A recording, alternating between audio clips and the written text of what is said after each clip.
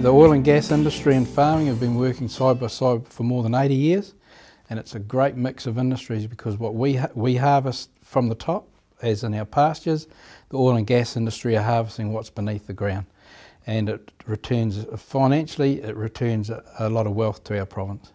So initially when they do the seismic surveys, uh, the firm that's contracted to go and um, visit all the farmers, they'll have send a permitting officer in or a perhaps a liaison person. Um, they will individually um, talk to all the farming people or the people that are connected within that particular area. When they first came, it was very personal because the American company that was here, they were here, like the chief executive from America was here sitting at our kitchen table explaining exactly what they were trying to do. Once the project starts ahead, you'll have this, the survey people come through. Um, it'll be all um, mapped out, pegged out. You'll have the crew come through that will drill the holes where the shots are going to go in.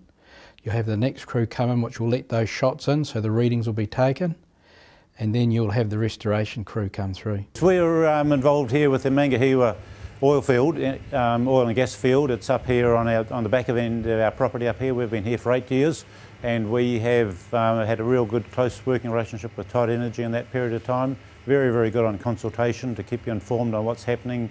When it comes to perhaps a rig being put on your property, um, it depends whether they're actually going to come back to that site later as to how far they restore that particular site because if they're coming back they don't really want to take a lot of that base metal away so that'll probably just be fenced off but the rest will be restored. They've always done a good job on restoring restoration of any earthworks that are done that are outside their normal area of operations. They'll normally, they'll, and without exception they've always fully restored that back to you know, where it was before, if not better, in fact most cases better.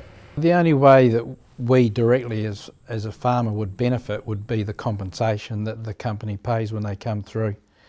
And so usually there will be uh, two forms of negotiation. One when they come and do an exploration hole because that would only be there for a small amount of time.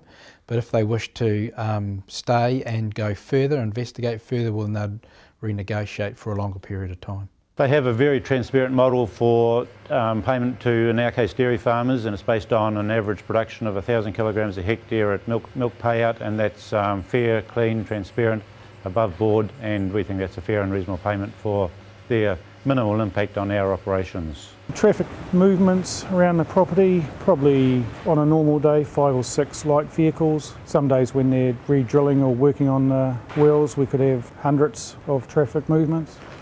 But they, they seem no problem. They always open and shut gates. They maintain the tracks. I'd suggest it's uh, moderate impact. It's, we have a lot of traffic that comes up and down, but it doesn't actually have much influence on the actual day-to-day -day operations of the farm. It's about opening and closing gates if they're open or closed, and then just get, they, they, move through, do their, do their stuff, and then move on out again. So no, it's no major problem for us. For us, farming just carried on as normal. You just had a few people walking around your property, so we didn't have any problems whatsoever. They're only too happy to try and help you out or they're always asking if there's anything wrong or anything upsetting you. I'd suggest that the energy industry across the board is probably far more responsible with, the, with land than even us as landowners often are or, or are perceived to be at times. But the, the smallest little incident will go through a whole procedure of why did it happen, what can we do to make sure it never ever happens again, and I'm talking about small things. Taranaki Regional Council their guiding document they have to abide by is the RMA. So that is land, water and air. And um, so as dairy farmers, we are monitored by the uh, Regional Council rigorously and so the oil and gas industry. Uh, they have a lot of experience with um, oil and gas naturally because I've been here for a long period of time. A farmer approached by an oil company, oh no, just go through the pros and cons with them and probably ring up other people that have got same situation as they have and just get their views and I, I would encourage it and it's good for employment, it's good for the area, it's good for everybody. I think their relationship generally with farmers, which is where most of their drilling is done, generally across the board has been productive from, from their side and from the farmer's side because, as I say, if you give a little bit, they give a little bit as well too and it's not just about money, it's about a whole range of aspects and they do things in the community which most people wouldn't even be aware of, you know, just helping out at local schools and um, being part of the, trying to be part of the community as well too. And, and they, they, they know they're here, they're long-term partners in the, in the district and so they want to be part of the scenery long-term as well too. The important part and why it works so well in Taranaki is sitting around the table and discussing the issues and working it out. They've been here for over 10 years and we wouldn't even notice that they're here. It's just part of our life and there's no problem at all.